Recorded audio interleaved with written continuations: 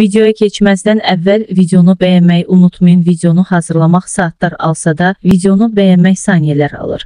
Keçək videoya. Tehran təşvişdə. İran Zəngəzur sərhədini itirsə NATO üzvü olan Türkiyənin təsiri altına düşəcək. Türkiyə prezidenti Erdoğan istədiyi yerdə istədiyini edir və heç vaxt buna görə cəzalandırılmır.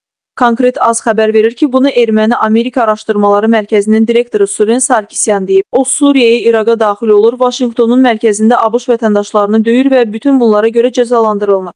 Rusiya təyyarəsini vurur, yenə heç kim cəzalandırmır. Çünki onun çox güclü ordusu var və Erdoğan ciddi regional oyunçuya çevrilib və faktiki olaraq böyük Turanı reallaşdırmaq yolu ilə gedir.